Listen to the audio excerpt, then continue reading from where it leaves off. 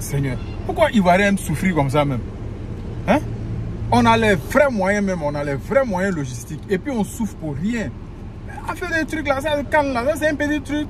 On prend la CEI tranquille. On gérer côté but, tous les buts des adversaires là, on annule.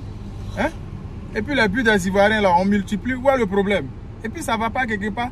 Maintenant, si on est trop fâché aussi là, hein, on va impliquer CUE dedans. On met la CUE, chaque consultation devant, les gars, allez, on coupe courant, où est le problème Ou bien c'est ça que vous n'avez jamais fait Gérer le truc là, vous, avez honte de quoi? Couper courant au stade. Hein? N'ayez pas honte, allez-y, gérer les trucs là. Dès que ces trucs, non, c'est pas but.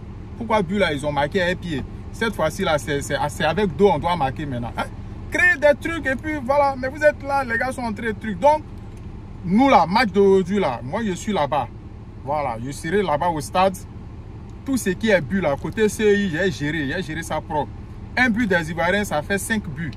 Voilà, pour les autres là, dès que le truc là, on crée, crée des conditions là-bas. CIE, je compte sur vous aussi, voilà, pour faire pareil. Hein? Chaque vous êtes là, on consulte, va, et puis on tombe penalty, et puis il n'y a rien. Coupez courant. Oh, acier, oh.